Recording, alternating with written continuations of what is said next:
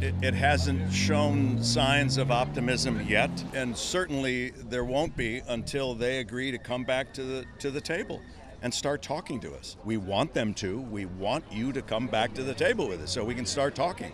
The AMPTP is focused on making a lot of money by way of our art. We want to make a lot of art and hopefully make some money at it. So they're looking for a bottom line. So when they see red ink at the bottom, they want to cross that out by laying off people by any means necessary. Their attempts to instill AI as a normal operating procedure is literally dehumanizing the workforce. And we and it's not good for society. It's not good for our, our environment. It's not good for, for, for working class families. It's just not good. We're here at Sony. This is the studio that produced our shows.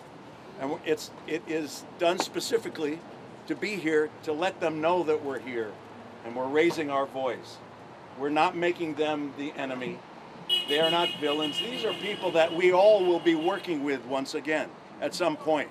We just want them to see reality and, and, and fairness and come back to the table and talk to us. We may find that we have much more in common than they realize. It just feels like um, not only in our industry, but multiple industries uh, in the country right now, it's just becoming harder and harder for the folks in the middle to make a living. Um, this idea of how much money do CEOs need, uh, you know, and just scary that it just seems like we're moving away from basic human um, compassion and you know consideration. Look, I mean, we're all in this together, but uh, the people that are just crunching numbers, it's there's not like an artistic vision behind that. It's just about saving money.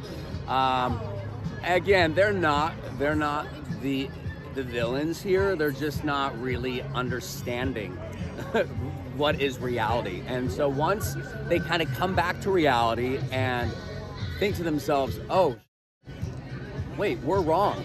And we need to do what's right. That's it. Simple as that. So you're feeling optimistic then? I think so, yeah, because we're not going anywhere. So they got to do something, you know what I mean? So uh, I'm feeling very optimistic.